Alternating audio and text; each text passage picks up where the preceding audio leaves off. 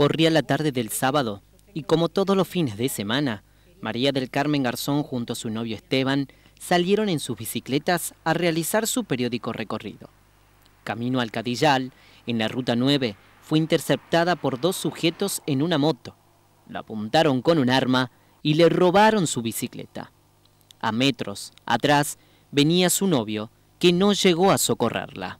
Interceptan dos chicos, eh, dos jóvenes, en moto, y bueno, eh, a, punta de pistola eh, me amenazan y me piden que le entregue la bici. La cuestión es que lo primero que hago es pedirle que, no me empujen, porque yo tenía las trabas de la, de la bici, entonces me bajo y se la entrego. No satisfechos con el motín, uno de los asaltantes se bajó y se llevó también su celular. Mi novio venía un poco más atrás, lo que pasa es que sí, sí es cierto de que yo, como ese día había mucha gente, había ciclistas y había muchos vehículos, yo me adelanté un poco. Entonces venía más atrás. Y bueno, él vio todo. Él vio cómo se cruzaron desde la colectora hacia lo que es la ruta y eh, empezaron a frenar atrás mío porque no podían pasar hacia la ruta porque venían muchos vehículos.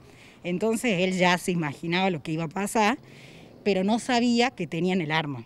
Cuando vio después de que me sacaron la bici, que yo estaba tratando de sacar el celular y que encima no lo podía sacar, no sé si de los nervios, pero estaba trabado, que es ahí cuando me empiezan a apuntar en la cabeza, eh, ahí se da cuenta de que tienen el arma y bueno, él ahí ya no sabía mucho qué hacer porque no sabía si acercarse o esperar un poco por, por miedo a que te peguen el tiro, porque ahora ya no les importa solamente robarte.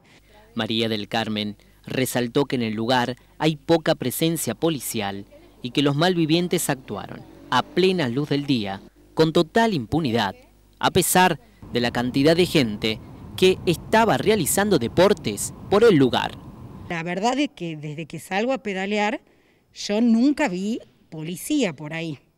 Pero sí, sí es cierto que se han portado muy bien porque nosotros hemos llamado directo al 911 y en 15 minutos ya estaba el policía a donde nosotros estábamos.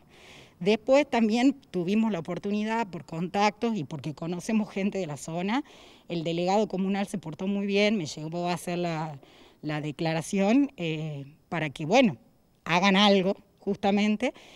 Y bueno, se pudieron mover, o sea, sabían quién era, parece que son chicos de Villa Mariano Moreno que están robando ahora en los nogales, que se meten por ahí constantemente, como que han visto un atajo para poder robar. Una bicicleta que, bueno, la compré con mucho esfuerzo, me la regalaron en realidad, pero sé que las personas que me han regalado me la han comprado con mucho esfuerzo.